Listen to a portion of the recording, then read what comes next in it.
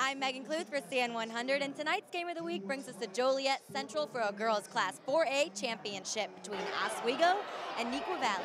Which Big Cat has more pride, the Panthers or the Wildcats? Let's take it to the stands and find out in tonight's Battle of the Fans.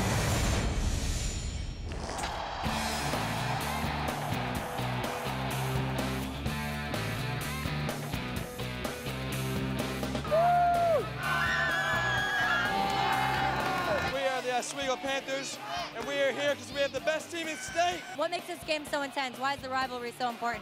It's just Neuqua. We've always had a rivalry with them. We do football, basketball, every sport we play. It's always against Neuqua. What do you think it means to your team to have such a large amount of support behind them at a away game on a Thursday night?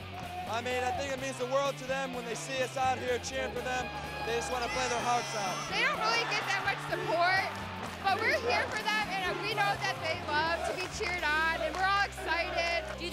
win Battle of the Fans? Oh, definitely. I mean, they don't have a flag over there, do they?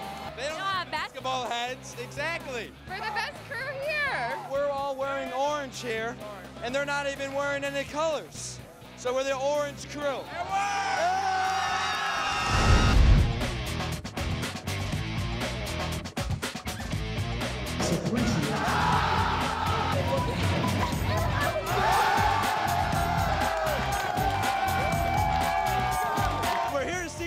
Win, go to uh, super sectional. The girls have worked so hard. They work so well as a team together. What do you think the team thinks when they have such a large amount of support behind them at an away game? It's crazy. I mean, uh, we have we have great fans here. I mean, every every event we got crazy fans and most dedicated fans. I love these guys. I love, I love these guys. Do you guys think you deserve to win Battle the Fans? Obviously. Oh, yeah. You see anyone else wearing painted on jerseys? To view this exclusive Xfinity TV programming in its entirety, view this program anytime on demand by selecting Get Local and choosing CN100.